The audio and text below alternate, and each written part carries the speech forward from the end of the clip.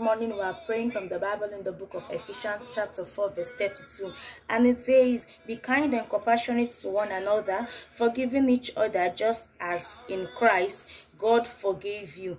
Father, in the name of Jesus, we pray for as many out there this morning that are bitter, that are holding grudge against one another. Lord, we ask that in your mercy you soften their hearts. Help them, Lord, to forgive as many that have wronged them in the name of Jesus. Holy Spirit, we ask that you come into their hearts. Eh, that even as you forgave us who deserved it not, eh, that you would give them the heart eh, to forgive others in the name of Jesus. We plead, Father, that you help us to forgive as many that have wronged us, that will not hold on to the offense anymore, that will hold on to the offense no more. In the name of Jesus, Lord, intervene. Lord, intervene. We let go of those pains. We let go of those issues. We let go of those pains. In the name of Jesus. In Jesus' name we have prayed. Amen.